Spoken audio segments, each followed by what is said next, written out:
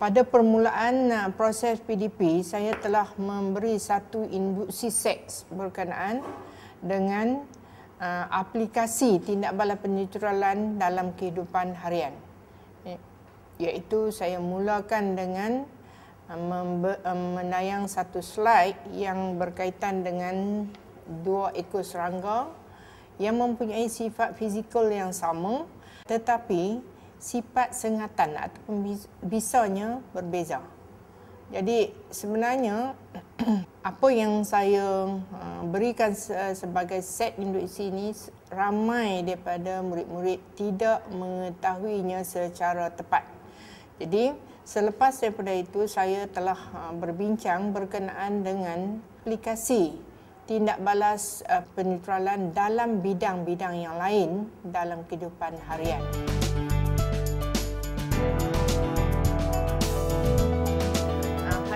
Kita akan teruskan dengan tajuk asid dan base ya. Bila kita telah pelajari berkenaan dengan sifat-sifat bagi asid dan sifat-sifat bagi base ya.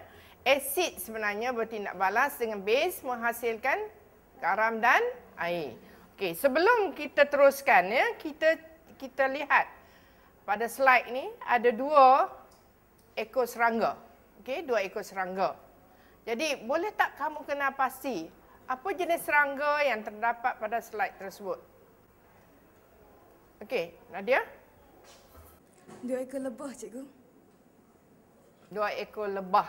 Ha, dua ekor lebah. Cuba perhatikan betul-betul. Adakah lebah ataupun aa, ada serangga yang lain yang hampir serupa? Ayo. Satu lebah dan satu lagi tebuan. Tapi tak tahu yang mana satu. Rupa dia hampir sama, cikgu rupa sama. Ya, Ayub. Ya. Jadi sebenarnya dua ekor serangga yang ada pada slide ini, dia mempunyai sifat fizikal yang sama. Ha?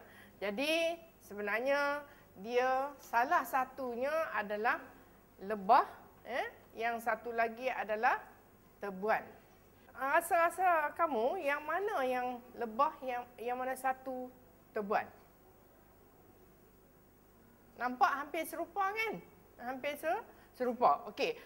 Kita perhatikan walaupun dua ekor serangga ini mempunyai sifat fizikal yang sama tetapi dia mempunyai sengatan ataupun bisa eh, daripada sengatan lebah dan tebuan ini dia akan uh, sifatnya mempunyai sifat yang berbeza. Okey. Jadi kalau kita kena sengatan ni apa yang perlu kita buat? Sapu cuka, cikgu. Sapu cuka. Yang mana satu? Kedua-duanya sekali, cikgu. Kedua-duanya sekali. Sebenarnya tak tak boleh kita tak boleh sapu dua-dua sekali. Okey? Jadi kalau kita tengok ya, kalau uh, kamu perhatikan yang serangga A ini dia adalah lebah, dia kecil sikit, ya. Lebah ni kecil sikit. Dan serangga B adalah tebuan. Kalau kita sapu dua-dua sekali, sifat uh, bagi sengatan ataupun bisa yang dikeluarkan oleh uh, lebah ini dia adalah bersifat asid. Okey, kalau kita dia bersifat asid, kita sapu dengan cuka, apa yang berlaku? Dia bertambah dia tidak dinetralkan. Okey, jadi sebab itu bila sengatan lebah kita kena sapu satu bahan yang lebih bersifat alkali eh, lebih bersifat alkali. Dan tebuan pula dia bersifat bersifat alkali ya? Ha, bersifat alkali. Jadi bila bersifat alkali kita boleh gunakan bahan yang bersifat asid se- seperti yang selalu kita guna ya? Iaitu cuka ya. jadi kita tengok eh yang atas tu adalah lebah yang bawah itu adalah tebuan Okey, kita gunakan dua bahan yang berbeza. Ha, kalau kita tengok daripada situ, ha, kamu boleh uh, gunakan ataupun apply uh, gunakan pada bahan-bahan yang lain, ya. Uh, ya, Aika? Cikgu, jika kita terkena gigitan semut api, apa patut kita buat? Okey, semut api semut api sifat sengatannya atau bisanya sama seperti lebah. Jadi bila sama seperti lebah, sepatutnya kita sapu dengan satu bahan yang bersifat alkali sebab sifat sengatannya adalah bersifat asid. Okey, dia mesti dineutralkan. Okey, selain daripada ha, apa yang saya paparkan ya, um, banyak lagi kegunaan tindak bala peneutralan uh, dalam kehidupan harian. Siapa boleh bagi contoh yang lain? Uh, Okey Aziz? Ubat gastrik cikgu sebab ubat ini mempunyai base seperti natrium karbonat dan magnesium hidroksida yang boleh naturalkan asid hidroklorik dalam perut cikgu. Okey, ya. Ha, bagus Aziz. Ya. Ha, selain daripada tu? Okey Najih ha? Uh, petani gunakan kapur tohor untuk menutralkan keasidan tanah, cikgu. Jadi keasidan tanah, tanah yang berasid hasil daripada uh, hujan asid ya. Uh, jadi tanah berasid kita boleh neutralkan dengan kapur toho. Jadi kapur toho ni uh, uh, bersifat base ya. Kita boleh neutralkan keasidan asid uh, tanah meng menggunakan kapur toho. Okey yang lain? Okey Alina. Kita menggunakan ubat gigi untuk menetralkan asid di dalam mulut yang dihasilkan oleh bakteria. Uh, Okey. Uh, itu satu lagi kegunaan ya satu lagi kegunaan iaitu bila kita uh, gosok gigi kita gunakan ubat gigi yang bersifat base jadi dalam bila kita makan aktiviti bakteria dalam mulut kita menghasilkan asid asid akan dineutralkan ya asid di dalam mulut kita akan dineutralkan oleh ubat gigi yang bersifat base okey uh.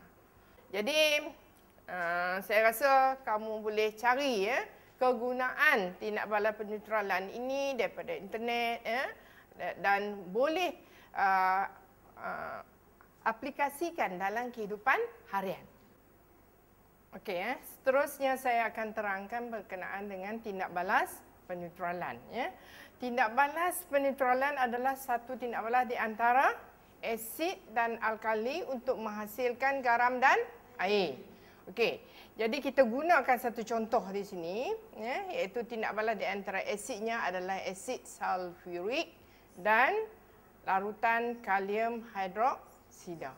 Jadi sebelum kita uh, buat uh, eksperimen dan juga kita selesaikan masalah uh, yang berkaitan uh, dengan uh, titratan ya. Jadi kita tengok dulu kita perlu tulis persamaan tindak balas. Okey, persamaan tindak balas. Okey. Uh, cuba tengok ya. Apakah formula bagi asid sulfurik? Ya, asid sulfurik bermakna gabungan di antara H+ dengan SO H uh, SO4 dua tolak. Jadi, kita tulis formulanya H 2 S O 4. Eh? iaitu daripada H plus bergabung dengan SO4 dua tolak. Eh? Jadi dan alkalinya adalah kalium hidroksida. Eh? Jadi kalium hidroksida K, kalium ini daripada kumpulan satu K plus, OH-nya daripada uh, negatif satu. Jadi formulanya adalah K O H. Okey garamnya ya. Garamnya iaitu pembentukan di antara logam ya. Kita tengok logam sini K+ dia akan bergabung dengan SO4 So K dengan SO4 jadi kamu akan dapat gar garamnya iaitu, iaitu K plus SO4 2 tolak. So formula garamnya adalah K2 K2 SO4 okay. dan satu hasil lagi ialah air eh? H2 Okey, sekarang eh, daripada persamaan ini kita perlu imbangkan. Eh, kita perlu imbangkan iaitu kita mulakan, kita buat secara inspeksi. Eh. Inspeksi itu kita mulakan dengan logam. Okey, logam. Kita semak logam. Lepas tu bukan logam. Lepas bukan logam, kita akhir sekali iaitu hidrogen ataupun oksigen. Okey, jadi dalam persamaan ini kalau kamu perhatikan logamnya adalah apa logam di sini? Kalium kan? Okey, kalium sebelah kiri ada dua. Jadi kita imbang sebelah kanan dekat sini dua. Okey.